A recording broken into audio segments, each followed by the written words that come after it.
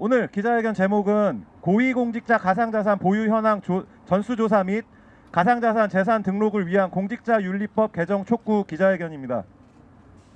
지금 다들 아시다시피 김남국 의원의 거액의 가상자산 보유 그리고 투자 그 사태가 터져서 국민들이 대단히 충격을 받고 있습니다. 충격을 넘어서 이제 분노를 어, 참고 있는 지경입니다. 그런데 지금 국회의원들이 얼마나 더 가상자산을 많이 보유하고 있는지 그래서 더 얼마나 이해 충돌의 위험을 가지고 있는지 공개가 되지 않아서 국민들은 지금 크나큰 정치 불신에 시달리고 있는 상태입니다. 그래서 저희 재정넷은 이 재산 공개에 가상자산을 포함시키는 어떤 방법들을 요구하기 위해서 오늘 이 자리에서 기자회견을 열고 있습니다. 오늘 어, 첫 번째 발언으로는 김남국 의원의 가상자산 보유로 드러난 문제점과 그에 대한 평가에 대해서 김성달 경실련 사무총장님 그리고 이재근 협동 사무 참여연대 협동 사무처장님께서 먼저 발언해 주시겠습니다. 먼저 김성달 경실련 사무총장님 발언 듣도록 하겠습니다. 네, 안녕하세요. 경실련 김성달 사무총장입니다. 어, 재정넷은 어, 재산 공개, 공직자 윤리 강화를 위한 공직자 윤리법에 있는 재산 공개 제도의 내실을 강하고 공직자 윤리 강화를 위해서 법 개정을 함께 하자는 취지로 시민사회 단체들이 같이 모여서 활동하고 있는 연대 단체입니다. 어, 올해가 공직자 재산 공개가 이루어진 지 30년입니다. 어, 부당한 권한을 남용해서 부당하게 재산을 늘리지 않는지 어, 이러한 소지를 차단하고 국민을 위한 봉사자로서 거듭나고 윤리 강화를 위해서 어, 자질을 좀 높이자 투명성을 강화하자는 취지로 공직자 윤리법에는 부동산 자산, 현금 자산 등에 대한 재산 공개를 하도록 지금 시행되고 있는 중입니다. 하지만 이 재산 공개의 어떤 축소 공개 등의 논란이 있고 이런 허점을 이용하고 또 재산 공개 관리 주체인 공직자윤리위원회 인사혁신처의 이 허술한 부실한 심사를 틈타서 공직자 재산 공개가 제대로 이루어지고 있지 않다라는 비판이 계속해서 제기되고 있었던 상황입니다. 이러한 상황에서 지금 현재 말씀하신 국민들 온 국민을 분노케 하고 있는 김남국 의원의 가상자판 수십억 대 가상자산을 보유하고 거래했다라는 의혹이 지금 제기되고 있는 상황입니다. 어, 김남국 의원 스스로는 불법은 없었다. 현재도 가상자산은 재산 공개 대상이 아니다 라는 마음 말씀을 하시면서 어, 불법이 없다라는 취지로 얘기하시면서 나름 억울하다라는 입장을 해명을 하고 계십니다만 이건 정말 국민들의 이 분노와 공직자윤리법의 취지에 어긋나는 발언 아닌가 진정성 있는 사과를 국민들은 기대하고 지금이라도 그 자산 내역을 투명하게 공개하라는 것이 국민의 요구임에도 불구하고 석연치 않은 해명과 부실한 해명 이런 것들이 겹치면서 오히려 의혹과 분노가 더 커지고 있는 게 아닌가 싶습니다. 김남국 의원이 해명한 내용을 보시면 어, 보유한 주식을 매각해서 9억 8천만 원의 어, 보유 매각 대금이 발생을 했다. 그 보유 매각 대금으로 코인을 샀다. 코인을 샀고 코인의 가치가 올라서 그 투자한 원금을 다 회수해서 그걸로 안산에 있는 아파트와 여의도에 있는 오피스텔 보증금을 지불했다. 그리고도 지금 9억 원의 코인을 가지고 있다라는 해명입니다. 하지만 이러한 내용들은 이미 22년, 23년 공직자로서 재산 공개한 내역과는 차이가 있습니다. 22년 재산 공개 때는 현금 10억 원의 예금 재산이 늘었는데 이에 대한 변동 사유로 기재한 것은 어, 주식 대금의 매각이라고 썼습니다. 즉 코인 자산을 매각해서 생긴 발생 과정에 대해서는 전혀 드러나 있지 않습니다. 또한 23년도에는 예금 재산이 6억 5천이 줄었고 전세 보증금 등의 지출이 8억 원이 발생한 것으로 7억 7천이 늘어났다라는 걸 신고했지만 거기에는 그 예금 재산 줄어든 사유에 대해서도 보증금에 의한 지출이 감소, 진출이 증가했다라고 밝히고 있습니다. 여기 어디에도 코인 자산의 거래를 통한 보증금 회수와 그 수익을 다시 지출했다는 내용은 어디에도 찾아볼 수가 없습니다. 공직자윤리위원회에서 이런 부분을 제대로 김남국 의원한테 관련 자료를 받아서 소명을 받은 것인지 저희는 묻고 싶고요. 또 하나는 공직자윤리위원회가 제대로 역할을 하지 않았다는 사실이 전 여기서도 드러납니다. 어, 2023년도 재산 공개 때 예금이 줄어든 금액은 6억 5천만 원입니다. 이 금액이 보증금으로 갔을 것이라고 국민들은 예상하고 있고 김남국 의원도 그렇게 기재했습니다만 보증금 증가액은 7억 7천만 원입니다. 금액이 서로 불일치했다면 이 부분에 대해서 어떻게 어, 1억 2천만 원의 금액을 조달했는지에 대해서 공직자윤리위원회가 취득 경위 등의 과정들을 소명받았어야 하는 것이 현행 법에서도 맞지 않나 저희는 판단됩니다.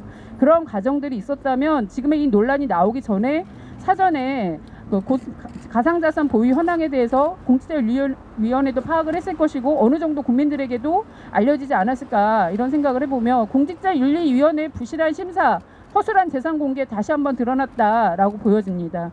따라서 이러한 제도 개선 당연히 필요하고 김남국 의원 지금이라도 국민학계 정말 진정성 있는 사과하셔야 합니다.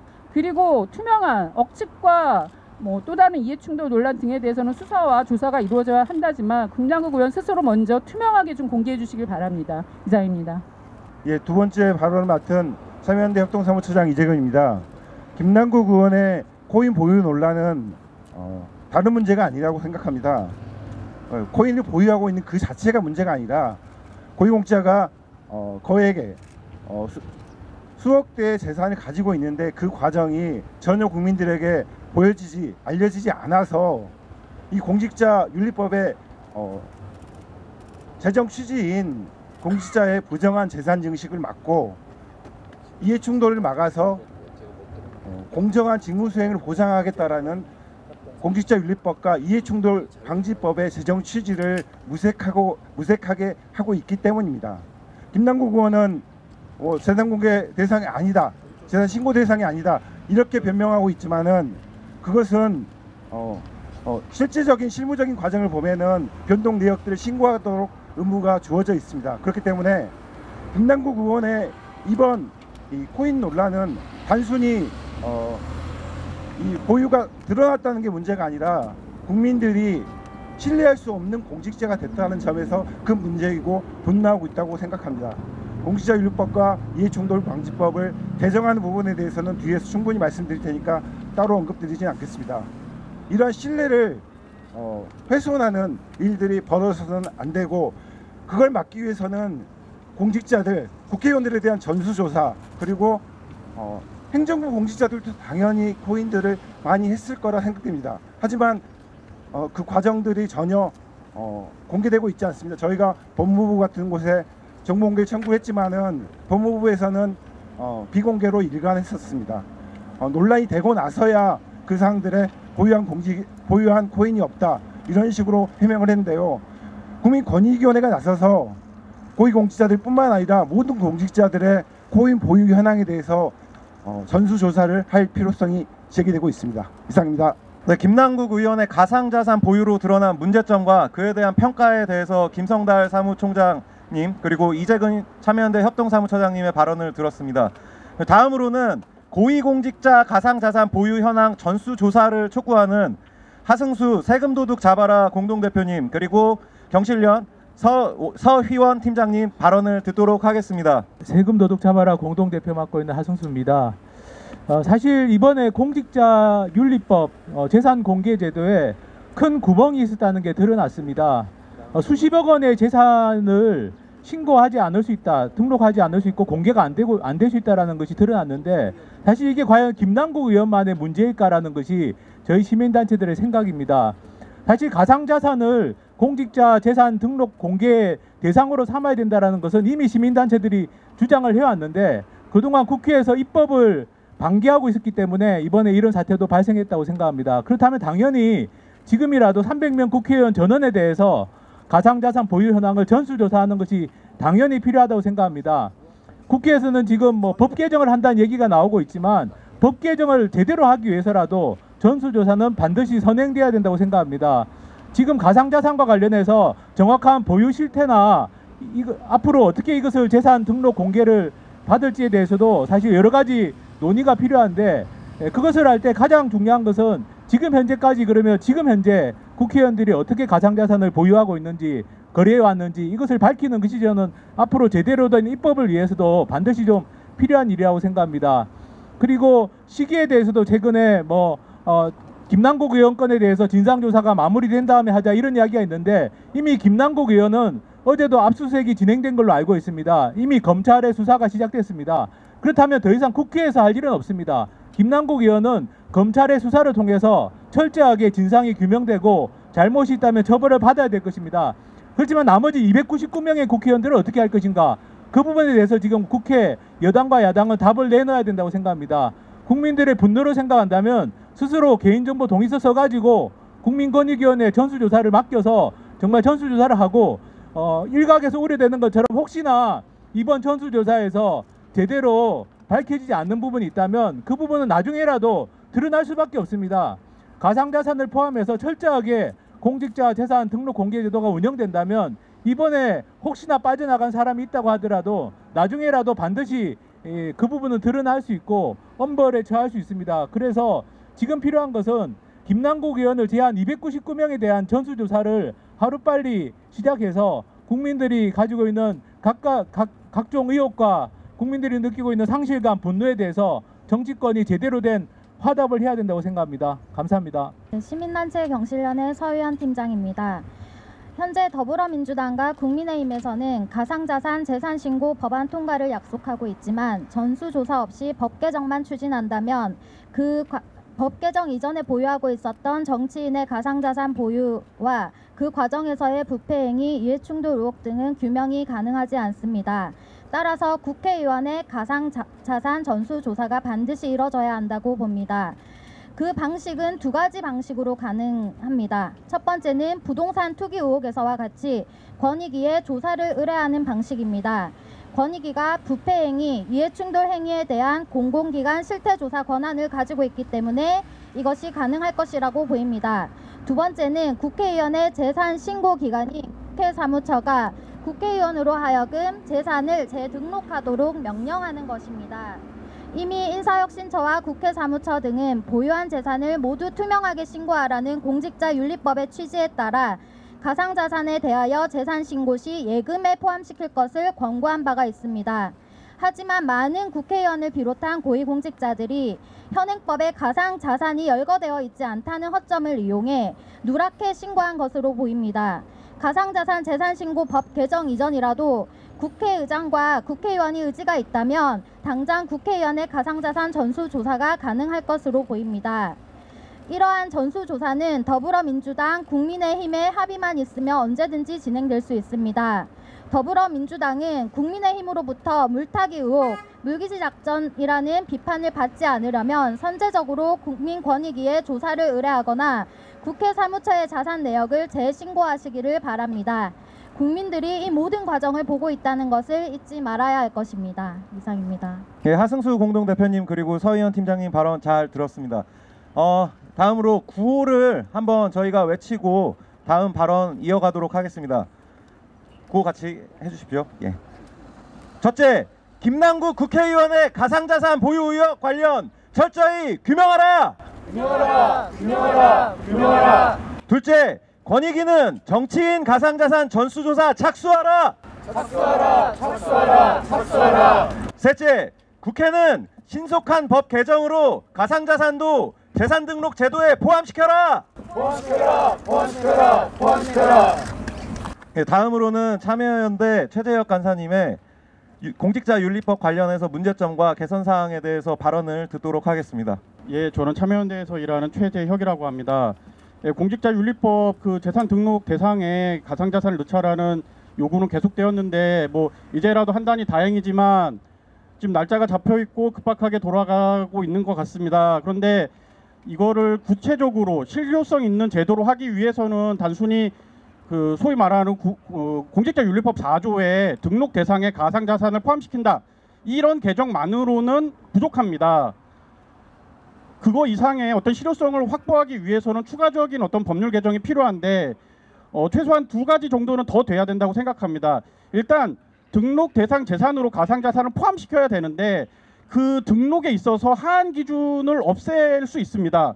예를 들어서 보석 같은 경우에는 500만 원까지 신고하도록 되어 있습니다. 그러니까 500만 원 이하에 대해서는 신고를 안 해도 되는 것이죠. 가상조사 아 가상조사가 아니 가상 자산도 마찬가지인데 지금 나와 있는 법을 보면 뭐 천만 원, 오백만 원 이렇게 선을 그어 놓고 그 이상의 가상 자산에 대해서 신고하도록 하고 있습니다. 그러나 가상자산이 그 부동산이나 주식과는 다르게 변동성이 굉장히 크고 가상자산이라는 재산의 특수성을 감안했을 때 이런 등록을 위한 금액 기준이 필요하지 않다라고 저희는 생각하고 있습니다. 두 번째로 그래서 가상자산을 어떻게 산정해서 등록시킬 것이냐 그게 중요하다라고 생각합니다. 왜냐하면 다시 말씀드리지만 가상자산이라는 게 굉장히 변동성이 크기 때문에 오늘 신고하는 내용과 내일 신고하는 내용이 다를 수 있습니다. 그렇다면 어느 기준으로 어느 액수에 맞춰서 신고하도록 할 거냐 그게 제도의 실효성을 담보하는 중요한 요소가 될 텐데요. 저희가 생, 여, 지금 봤을 때 취득 원가에 가장 가까운 것 예를 들어서 매도 매수의 금액 혹은 뭐 신고일 종, 기준으로 종가 이런 것들을 신, 병기에서 신고하도록 하는 것이 제도의 실효성을 담보하는 길 아닌가 싶습니다.